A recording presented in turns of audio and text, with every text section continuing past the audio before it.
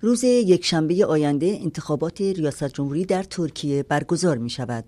با توجه به اینکه سیاست های دولت رجب طیب اردوغان تبعات گسترده را در منطقه داشته است صدای نو در حداقل ده سال گذشته با حساسیت ویژه‌ای تحولات ترکیه را دنبال کرده است یکی از رقبای اصلی اردوغان ائتلاف شش حزب اپوزیسیون است که کمال قلیچداراوغلو را به عنوان نماینده خود برای کسب پست ریاست جمهوری اعلام کردند. در همین حال همراه حزب دموکراتیک خلقها به تازگی حزب جدید التأسیس چپ سبزها نیز به کارزار انتخاباتی وارد شده است که نیروهای چپ و نیروهای مترقی کرد در آن حضور دارند و آنها نیز از نامزدی قلیش داراغلو پشتیبانی کرده اند. آنچه مسلم است پس از انتخابات 14 ماه در ترکیه نتیجه آن چه با شکست و چه با پیروزی اردوغان پیامدهایی را در این کشور و در منطقه به دنبال خواهد داشت که شایان توجه هستند. به همین دلیل امشب گفتگوی مفصلی را با آقای بهرام رحمانی تحلیلگر سیاسی، نویسنده و ناظر مسائل ترکیه در میان گذاشتیم. آقای بهرام رحمانی سلام عرض می کنم و بسیار سپاسگزارم که بار دیگر دعوت صدای از سیدنی استرالیا را پذیرفتین و هماره لطف داشتین و مهمان برنامه ما بودین. آقای برهان رحمانی بارها در مورد وضعیت ترکیه با شما گفتگو کردم. شما از نزدیک وضعیت اونجا رو پیگیری می‌کنید در اونجا زندگی کردین و در مورد چند انتخابات نیز با شما گفتگو کردم. به نظر شما حساسیت این انتخابات در این مورد تا چه حدیه؟ و به نظر شما تا چه حدی این تغییرات عمیقی رو بویژه؟ اگه مثلا این رو به عنوان تغییرات عمیقی که در کودتای 1980 که کنان اورن این کودتا رو انجام داد چگونه این حساسیت رو شما مقایسه می‌کنید؟ من منصور گرامی از شما همکارانتون به خاطر دعوت مجدد از من نهایت تشکر را دارم و برنامه های پربارتون را همیشه دنبال می‌کنم. خسته نباشید. برای شنوندگان شما آرزوی تندرستی موفقیت شکیبایی دارم. شما سوالی کردی منو بردی به دوران خاطرات به اصطلاح جوونی من بعد از کودتای 1980 در واقع از 1981 تا 86 استانبول زندگی کردم. اون موقع وضعیت ترکیه را من از ایران تازه رفته بودم. به لحاظ مشاهدات شهری امکانات بازار روابط مناسبات می‌دیدم. حقیقتش اون ظاهر امر نشون می‌داد که ایران پیشرفته تر از ترکیه بود و سر هر کوی برزنی تانگا بایستاده بودند کنترل می‌کردند. و دلیل اون کودتا می بوده که جنبش کارگری ترکیه و جنبش سوسیالیستی بسیار پیشرفته تر از ایران بود. یکی از کشورهایی بوده که از دل امپراتوری عثمانی که از آفریقا گرفته تا اروپا حکمرانی می‌کرد بعد از اروپا جمهوری تأسیس شد. ترکیه در واقع هم گرایشات شرقی هم غربی را و فرهنگ و سیاست رو با خود داشت. همین الانم داره. به همین دلیل کودوتا در واقع علیه جنبش کارگری علیه جنبش سوسیالیستی شد و یکی از عاملان این کودتا و یا حزبی که از ازش به عنوان حزب پدرخوانده یا احزاب ترکیه یاد می‌کنن حزب حرکت ملی هست که رئیسش امروز بارچلیه و این تو این دهه اخیر متحد حزب عدالت توسعه یعنی حزب اردوغان هست. این جریان سازمان جوانانش به اسم گرگای خاکستری معروفه. همیشه این نیروها جامعه را نعم نمی کنند ترور را می اندازند روزنامه‌نگار خبرنگار چپ و می‌زنند و جامعه را طوری درست می‌کنند که ناامن نشون بدن و ارتش به عنوان ناجی که میاد و کودتا می‌کنه و امنیت برقرار می‌کنه مطرح بشه. ولی از 20 سال پیش موقعی که حزب عدالت توسعه به قدرت رسیده و یکی از کارهایی که این حزب کرد پاکسازی ارتش بود که بتونه اون گرایش ناسیونالیستی و سیاسی ارتش ترکیه که ارتش ترکیه دومین بزرگترین ارتش ناتوس و یه ارتش سیاسی برخلاف ارتش ایران و منطقه و اینو پاکسازی کرد و زمینگیر کرد و تونست کنترل خودش رو بر روی ارتش میت ژاندارمری و دستگاه های اطلاعاتی بر نیروهای خودش رو وارد کنه و در این راه هم موفق شد. حتی کودوتایی که چند سال پیش مطرح شد که کودوتایی در ترکیه روی داده این کودوتا چند ساعت بیشتر طول نکشید همه می‌دونستن که این کودوتا کنترل شده است تحت کنترل میته. اینا می‌خوان ارتش رو یه سری پاکسازی کنن پلیس رو پاکسازی کنن. نیاز به یه همچون مسئله ای هست و در اثر همون کدوتای ساختگی دویست هزار نفر رو از کار برکنار کردن که 25 هزار نفر اینا معلم بودن تو کردستان بودن تحت عنوان طرفدار پکک پاکسازی کردن و چهل هزار نفر رو زندانی کردن. و الان هم می‌دونیم که کل فعالین سیاسی مخالف چپ کارگری تو زندان ها هستن. یا مجبور کردن شدن فرار کنند بنابراین امروز این دولت اردوغان تو اون سالهای اول با سیاست روابط سپ درجه با همسایه ها که روابط خوب داشته باشه و تلاش کرد این مقدار اقتصاد ترکیه را تنظیم کنه و یه ترکیه را برسونن به 20 کشور صنعتی بزرگ جهان. ولی از ده سال به این بر اردوغان کلا سیاستاش رو تغییر داد و از جمله آن نساسی را تغییر داد. و از دموکراسی پارلمانی و حزبی که اولین رأی رو میاره و بیشتر نمایندگان پارلمان رو داره نخست وزیر انتخاب می‌کنه ریاست جمهوری یه پست سمبولیک هست و اینو تغییر داد در واقع پست نخست وزیر رو حذف کرد نقش پارلمان حاشیه‌ای کرد. و رئیس جمهور شد قدر قدرت که سلطانیزم یا پادشاهی لقب داده شد برای اردوغان. بعد از اون مخالفین خودش رو به شدت سرکوب کرد و دوازده ساله تو جنگ داخلی سوریه دخالت داره و بخشی از روژاوا کردستان سوریه رو اشغال کرده بخشی از اقلیم کردستان عراق و با همکاری اتحادیه میهنی و حزب دموکرات اشغال کرده و مرتب علیه که از اونجا حملاتی را انجام میده. کوههای قندیل و حتی درختاشون را جنگلاشون را نابود کرده به بهانه سرکوب پکک تو جنگ داخلی لیبی دخالت داره.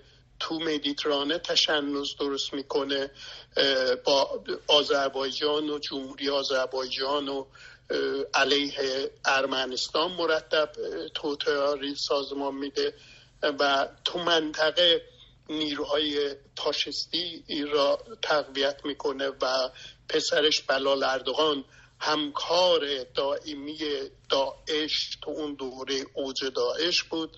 نفت داعش رو 25 دلار می‌خرید 50 دلار تو اروپا میفروخت که حتی یک بار اون سالها اتحادیه اروپا موقعی که موسل در اشغال داعش بود رقه در اشغال داعش بود داعش مرزهای سوریه و عراق از هم از بین برده بود که برای خودش منطقه وسیعی درست کرده بود.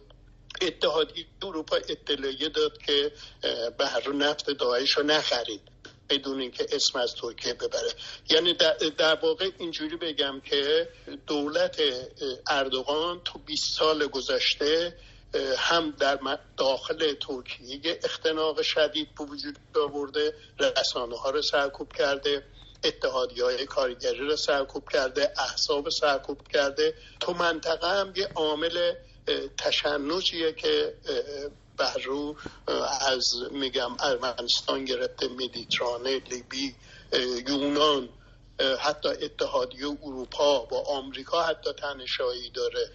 یه روز با روسیه متحد میشه یه روز با نمی‌دونم اسرائیل رو مورد حمله قرار میده.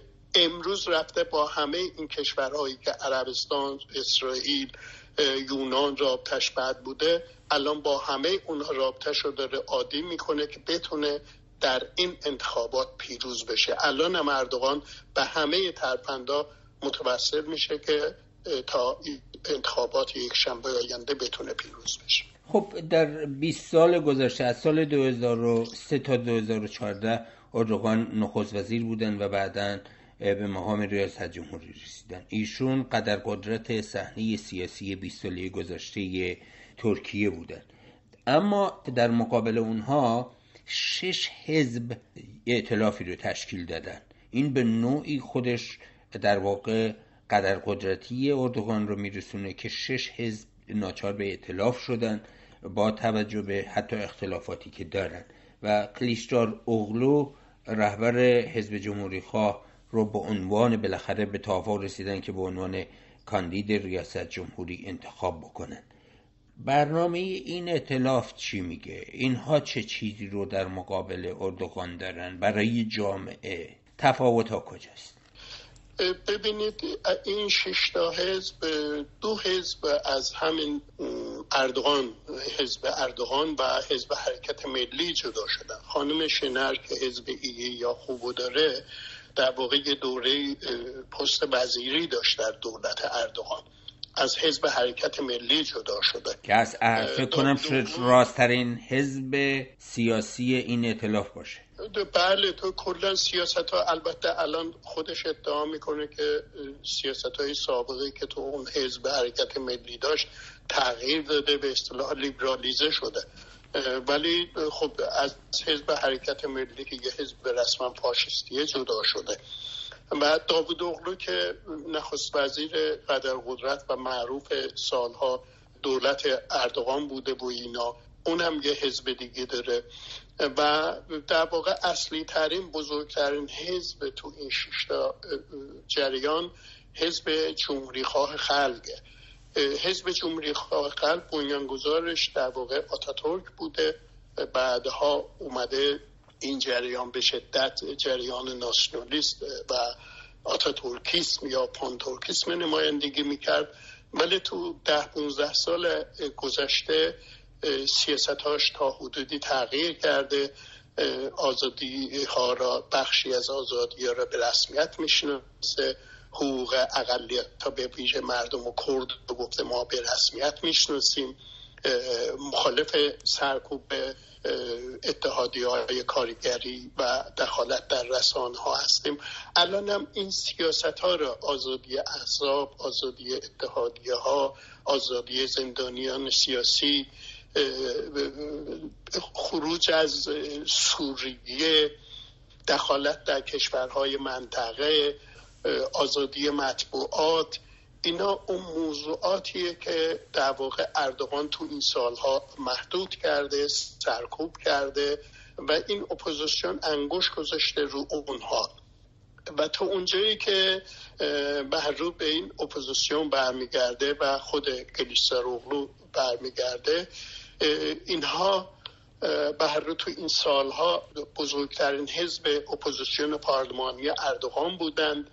و اینها امروز مجبورند اون سیاست های سرکوبگرایانه استثمارگرایانه که اردوغان به کار برده الان به اینجا رسیده. کشور رو با بحران های عدیده داخلی بین المللی مواجه کرده.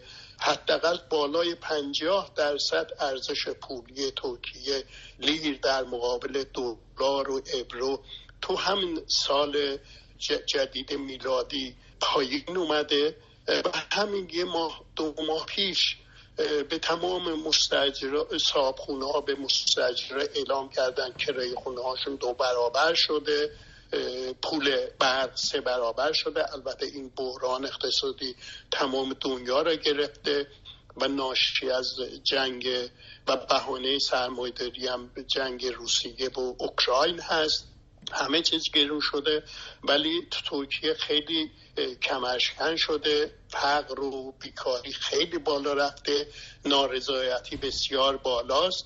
اپوزیسیون از این مسئله به قول معروف بهره خوبی داره می‌بره.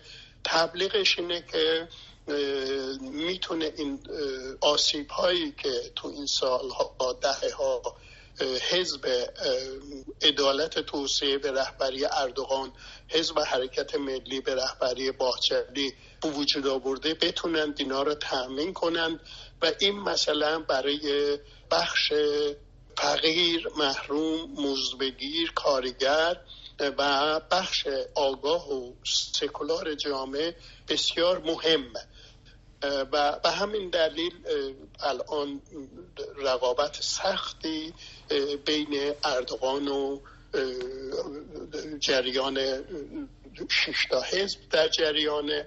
و اما حزب چپ سبز که اخیرا اعلام موجودیت کرده همین در یکی دو, یکی دو ماه قبل از انتخابات و بیشتر گرایش های چپگرایانه و پایه های اصلی در مناطق کردنشین هم داره. این رو برنامه هاشون چی هست و چه جایگاهی رو در, در این کشمکش انتخاباتی داره من اینو اضافه کنم تو اونجایی که به مناطق کردنشین برمیگرده. این در ده سال اخیر آرای کلا مردم کرد چرخیده به سوی حزب دموکراتیک خلقا. و حزب دموکراتیک خلقا حدود 7 میلیون رأی میلیتانت دارند. میلیتانت به این دلیل میگم مردم میان روز انتخابات فکر می‌کنه که به این حزب رأی بده خوبه. رأیشو از حزب ایکس می‌گیره به ایگرک میده. ولی تا اونجایی که به رأی مردم کرد برمیگرده حزب دموکراتیک خلقا برمیگرده این یه رأی میلیتانت تقریبا ثابت آگاهانه است. و الان هم که تو منطقه کردنشین این زلزله به وجود اومده دولت زلزله زدگان مرتب اعتراض می‌کنن میگن دولت اردوغان کمکاری کرده اینم بر رو موقعیت اردوغان را تو مناطق کردنشین خیلی ضعیف کرده. ولی این حزب سبزا تقریبا همینطور که داری میگی یه حزب جدید تأسیسیه و بهرو نسبت به همجنسگرایان زنان محیط زیست و آزادی بیان اندیشه احزاب سازمان ها توجه بیشتری داره در واقع نمیشه گفت که تو منطقه کردستان این به یه رقیب جدی در مقابل حزب دموکراتیک خلقا قرار می‌گیره. چه بسا اینا رابطه نزدیکتری هم با هم دیگه دارند و احتمالا هم در آینده بتونن همکاری های بیشتری دارند داشته باشن. این هم خودش به قول معروف یکی از بروزات اون هست که اردوغان اگه به هر رو شکست بخوره سازماندهی های جدیدی حرکت های جدیدی را در ترکیه ما شاهد خواهیم بود.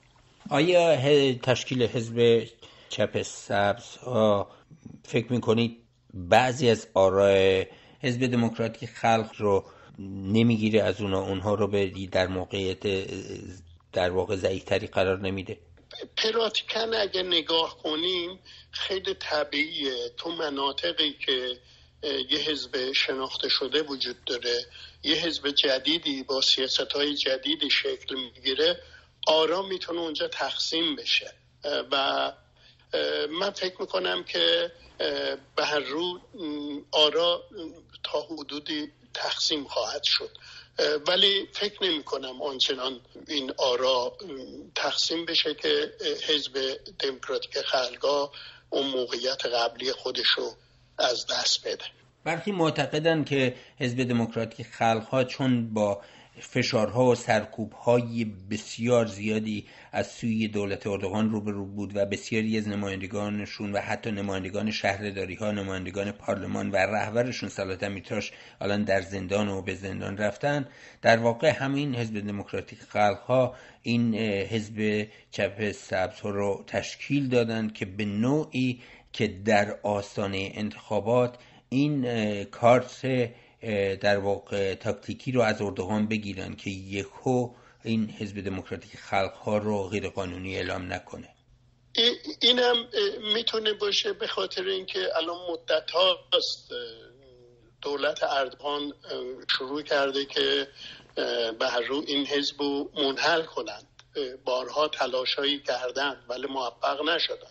ولی همینطور که شما میگی منم می‌خواستم آخر سال قبلی مطرح کنم. رهبران این حزب مثل دمیرتاش تو زندان هستند. شهردارای انتخابی مردم شهرهای کردنشین تو زندان ها هستند. شهردارهایی را خود اردوغان از بالای سر مردم اونجا گمارده. و بسیاری حدود 9000 نفر از هوادارا اعضای حزب دموکراتیک خلقا یا ممنوع سیاست شدن یا در زندان هستند یا پرونده براشون درست شده. بنابراین این حزبی که تشکیل شده می‌تونه بر رو چنین سیاستی هم در افق چشمانداز خودشون قرار بدن. ولی حقیقت اینه که اگه اردوغان تو این انتخابات شکست نخوره خیلی روشنه که وضع حزب دموکراتیک خلقا بدتر از این هم خواهد بود.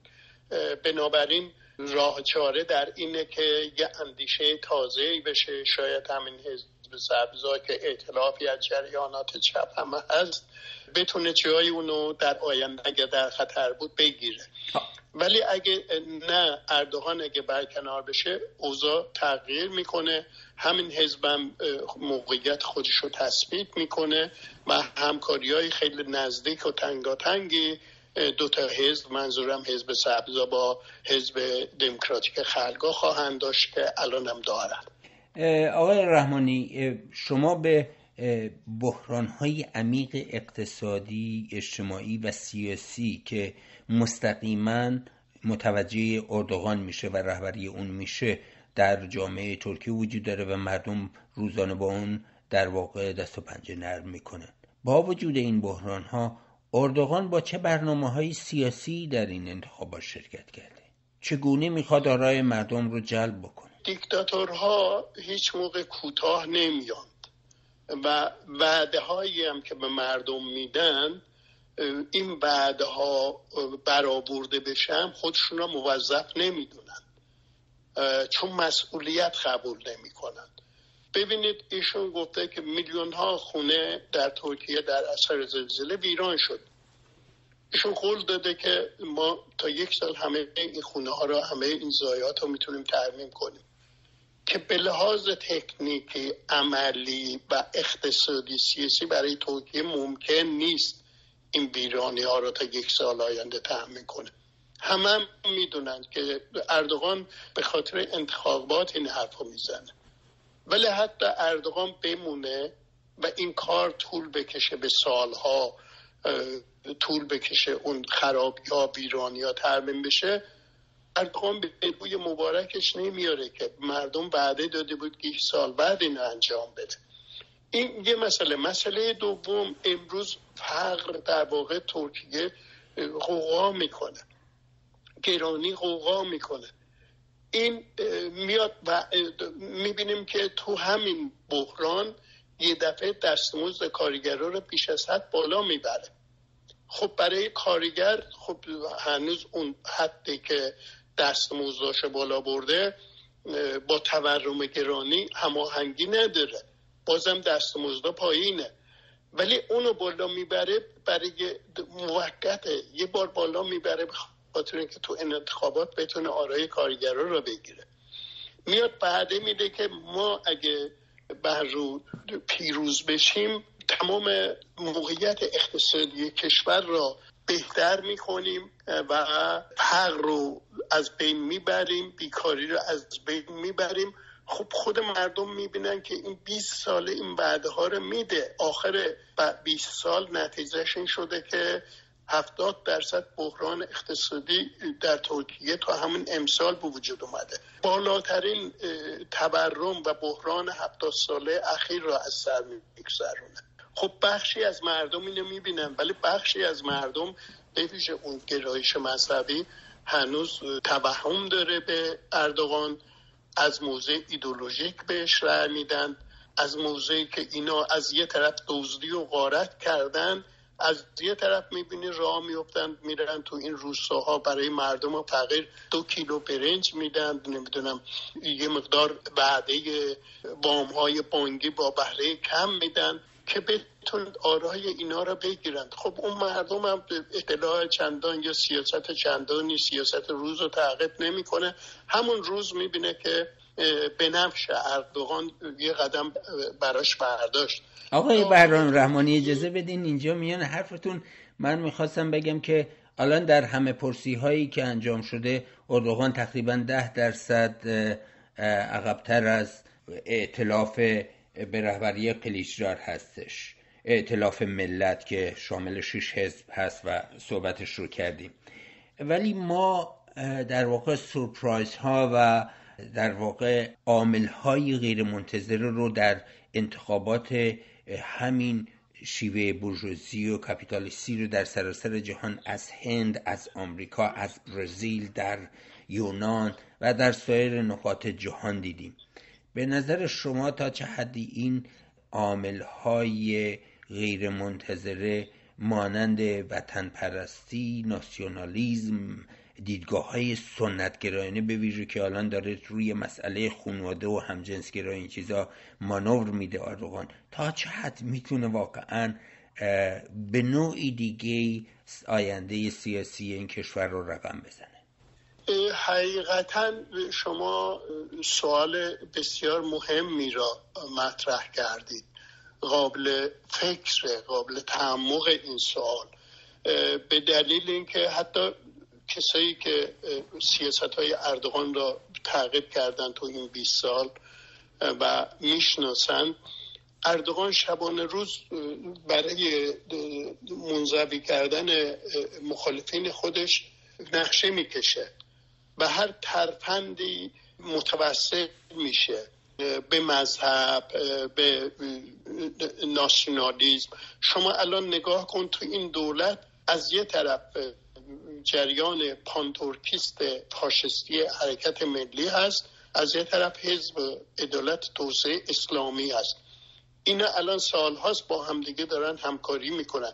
در صورت که مذهب و ناسیونالیسم تقریبا با همدیگه زیاد خانایی ندارن. باید سوال که اردوغان چی کار کرده که تونسته یه حزب فاشستی قدیمی ترکیه رو در کنار خودش داشته باشه؟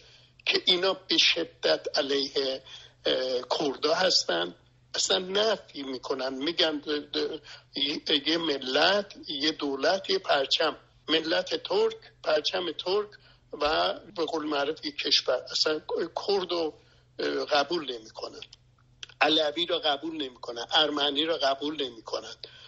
بنابراین اردوغان تمام فکرش و ذهنش رو تو این سالها توته گرفته که چگونه بتونه خودش رو نگه داره. همین هفته پیش که مریض شد دو روز نتونست به تبلیغات انتخاباتش رو ادامه بده باور کنیم من هی داشتم با خودم فکر می‌کردم که الان اینا نقشه می‌کشن بگن که می‌بینن که عقب افتادن. به قول شما نظر سنجی ها نشون میده که کلیسر اغلو حدود 19 درصد جلوتره. این بهانه رو بیارن که یکی از کاندیدا مریض شده. بنابراین انتخابات ما عقب بندازیم. یعنی همچنان با عقب انداختن انتخابات اردوغان فرصت داشته باشه توتاهای خودش رو پیاده کنه. یکی از مسائل دیگرش به قول معرف امروز کارتی که می‌تونه اردوغان بازی کنه راه انداختن یه جنگ ساختگی در رابطه با مردم کرد. که بیاد یا علیه روزاوا یا علیه پکک یا شهرهای کردنشین که این مسئله را علم کنه امنیت ملی در خطره باز بتونه حالت فوقلاده نظامی اعلام کنه. این تا آخر لحظه باید ما اینو مد نظر داشته باشیم که اردوغان می‌تونه به یکی از این ترپندا متوسل بشه. و با توجه به اینکه اکثریت رو تو پارلمان هم داره و خودش هم به عنوان رئیس جمهور تمام قدرت رو در دست خودش قبضه کرده. تا انتخابات این نگرانی که وجود داره که اردوغان نکنه یه آسی رو کنه و وضعیت رو برگردونه. تو سطح بین المللی هم راه افتاده. الان میگم با اسرائیل رابطش رو عادی می‌کنه با عربستان عادی می‌کنه. حالا توی صحنه بین المللی آقای رحمانی اگه به جمهوری اسلامی برگردیم این آینده انتخابات ترکیه با توجه به اینکه در بخش هایی مثلا در زمینه سوریه روژاوا همسو بودن به نحوی در عراق همسو بودن اما در مسئله اختلافات آذربایجان جنگ آذربایجان ارمنستان همسویی رو نداشتن. انتخابات ترکیه سویه هایش برای جمهوری اسلامی رژیم اسلامی ایران چی هست؟ مسئله اردوغان. ما در واقع یه مثلث مرگ یا مثلث جنگ توته در اون منطقه داریم. یه سرش این مثلث جمهوری اسلامی یه سرش روسیه است یه سرش ترکیه است. اینا مثلا دوازده سال جنگ داخلی ترکیه سوریه ترکیه اپوزیسیون و گروه های فاشستی و داعش و فراریان ارتش آموزش میده علیه حکومت مرکزی. روسیه و جمهوری اسلامی از حکومت مرکزی از بشار اسد فاشیست دارن دفاع می‌کنن. در این حال اینا رابطه خیلی خوبی با هم دیگه دارن. به لحاظ اقتصادی به لحاظ سیاسی اجتماعی.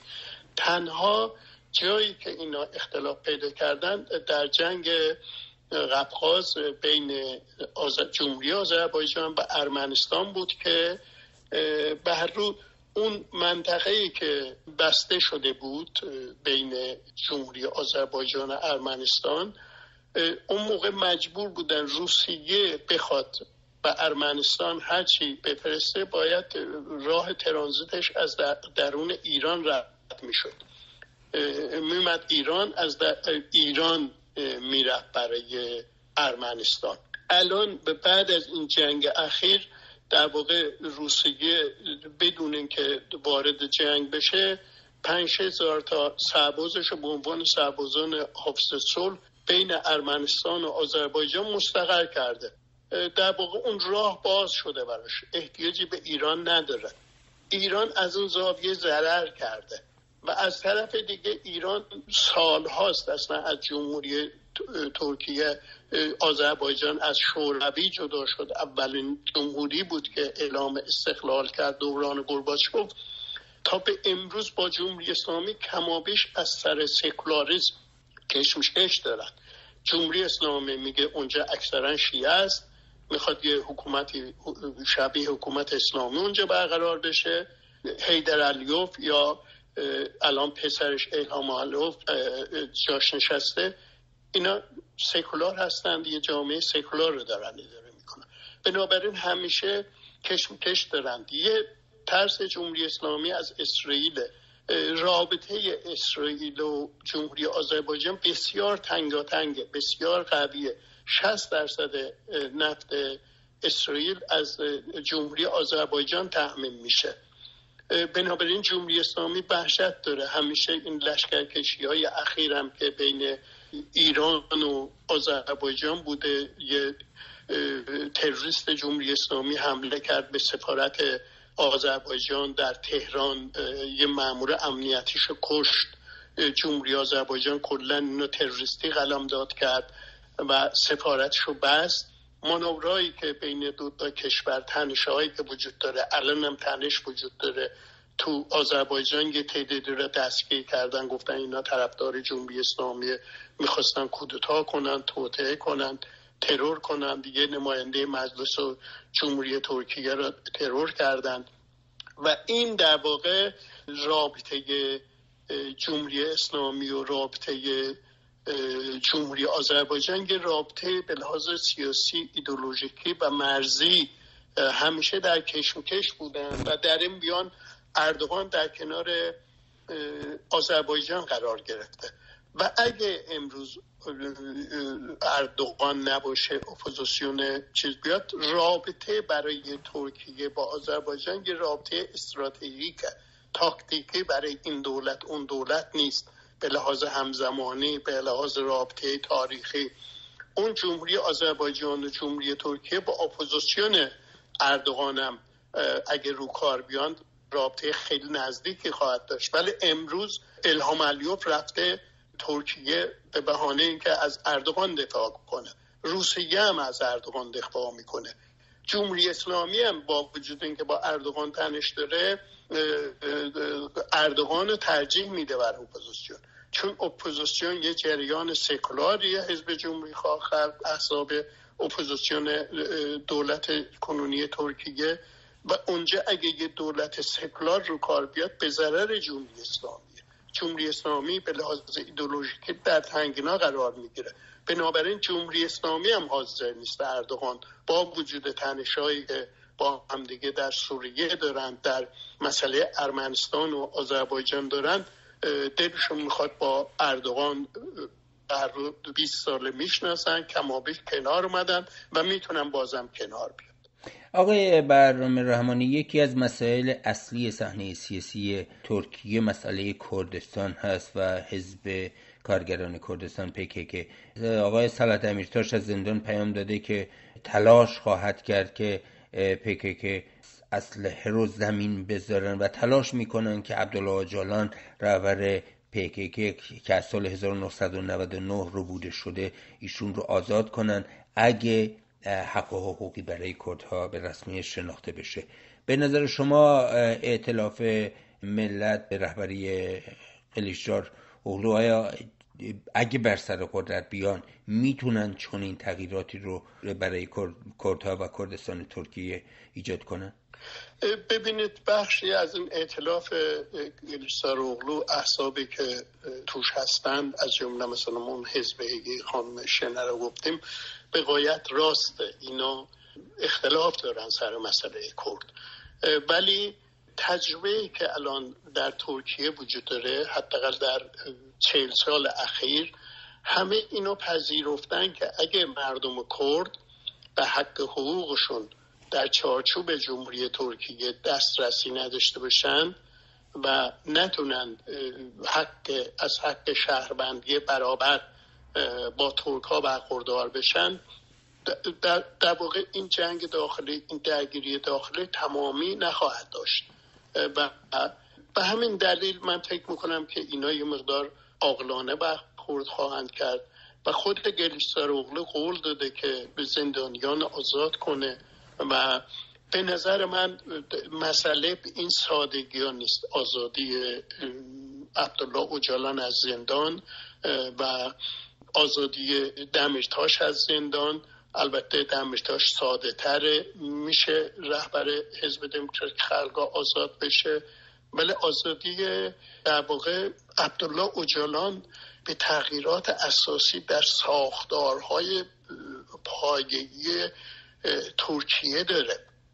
نمی‌دونم حقیقتا الان نمی‌تونم پیش بینی کنم حزب جمهوری خواه خلق لیستر و متحدینش چقدر کاپاسیته و ظرفیت اینا دارند که این حقوق مردم کرد رو تمام کمال بپذیرند و این جنگ خاتمه داده بشه.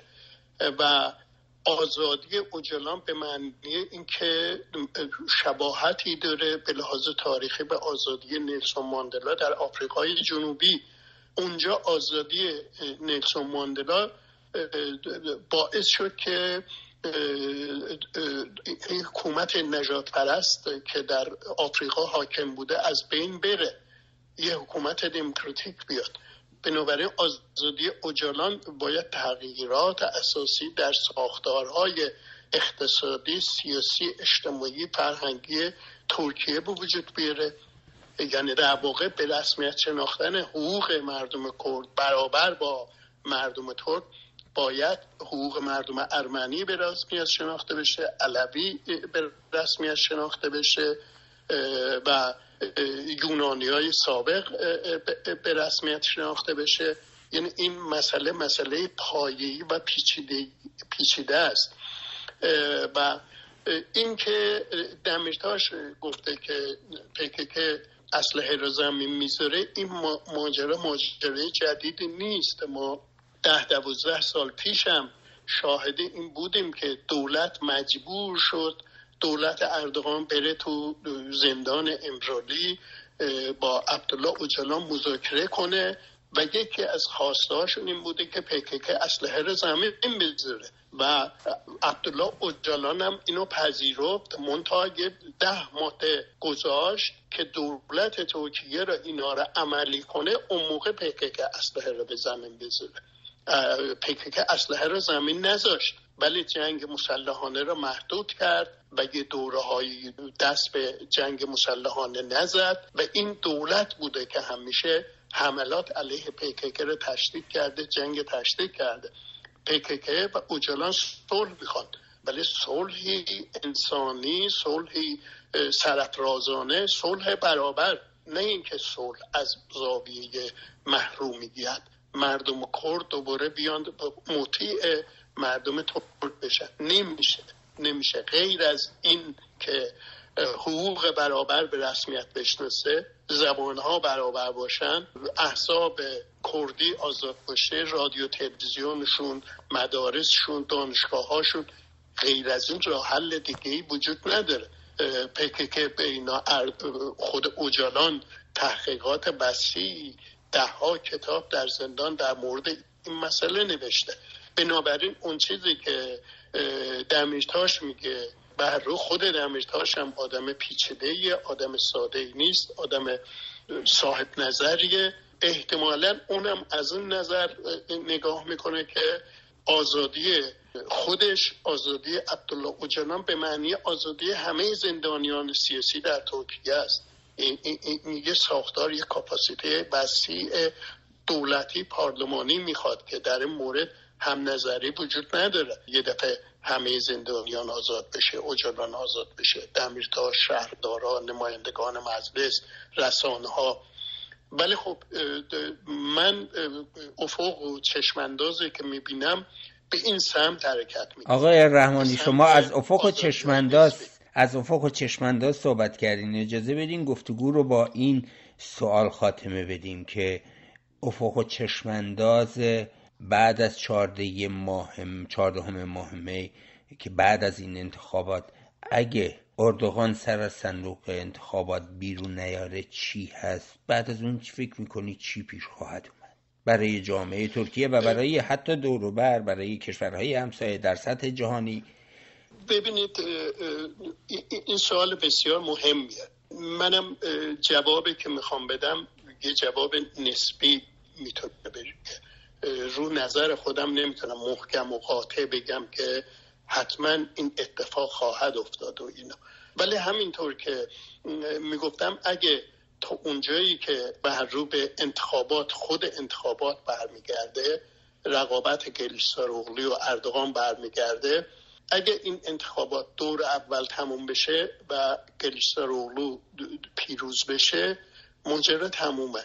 ولی اگه انتخابات به دور دوم کشیده بشه شک تردیدا خیلی زیاد خواهد بود که اردوغان از صندوق بیرون بیاد. چون اون موقع توتا و چیزا خیلی زیاد میشه و اردوغان احتمال داره دوباره فیلهای جدیدی هوا کنه و امیدوارم دور اول گلیستاروغلو انتخاب بشه. ولی هنوز با وجود اینکه نظر سنجی میگه که کلیستروغلو حدود 9 ده درصد جلوه ولی من باز نگرانم که بر رو اون روزها یا آخر اتفاقاتی بیفته.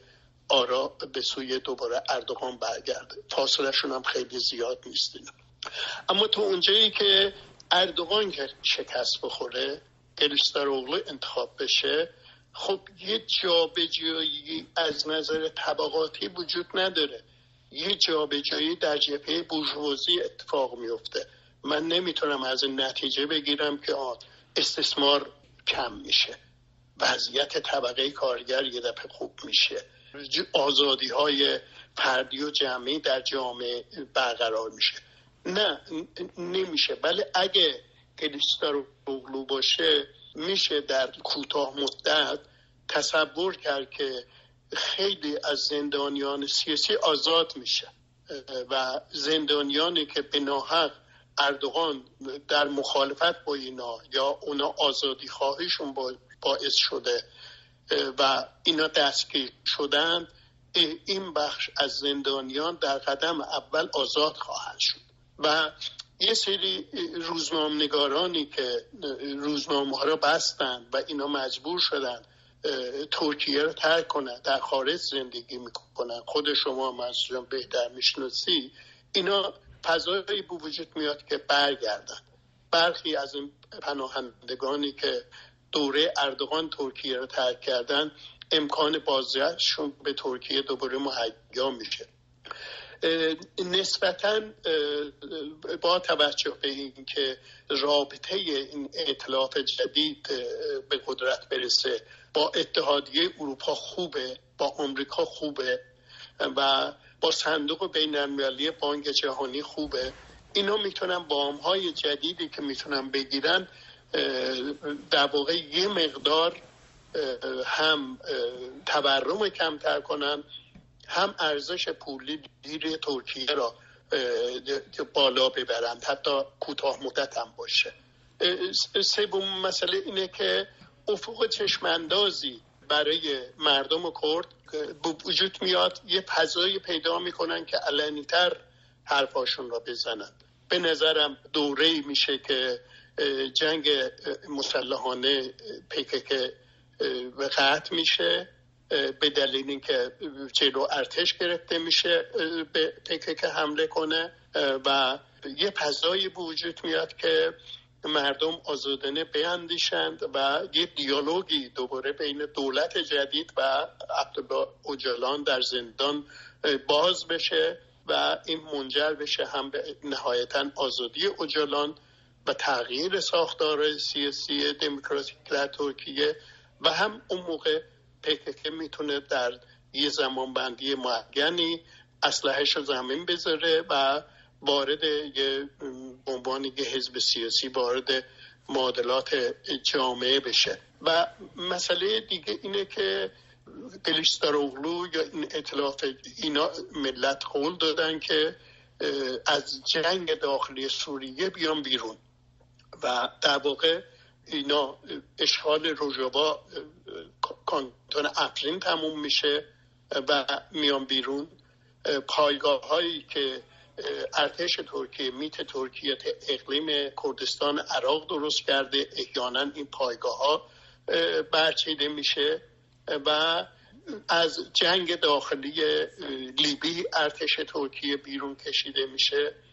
رابطه با یونان عادی, تر میشه تشنج در مدیترانه کمتر میشه و در واقع دولت جدید ترکیه می‌تونه یه روابط جدیدی بر اساس معیارهای خودش با چین با روسیه با آمریکا با اتحادیه اروپا و با کشورهای منطقه داشته باشه.